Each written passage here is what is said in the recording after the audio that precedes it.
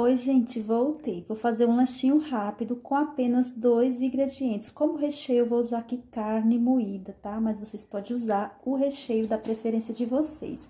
Vou pegar aqui uma massa de pastel, tá?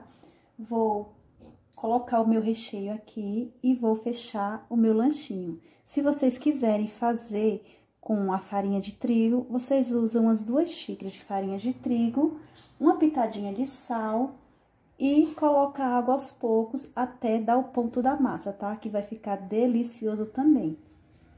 Coloquei aqui o recheio, ó, e vou fechar. Fazer isso aqui, ó. É bem simples, rápido, esse lanchinho.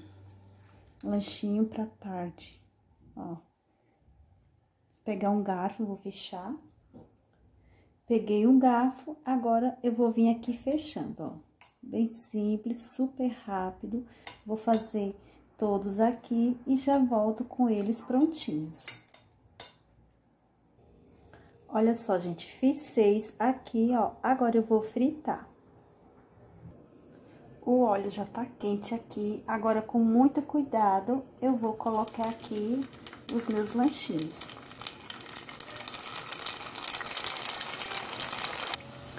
Olha só, gente, ficou douradinho assim, ó, já tá no ponto. Eu vou terminar de fazer todos, é super rápido, o óleo todo quente, tá?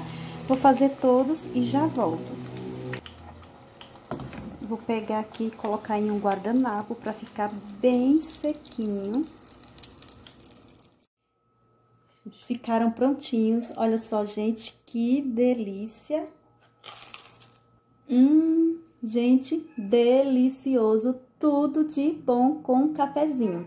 Se vocês gostarem do vídeo, vocês não esquecem de dar um joinha, se inscrever no meu canal, ativar o sininho para receber as notificações de cada vídeo que eu colocar. E compartilhar também, tá, gente? Tchau, até o próximo vídeo.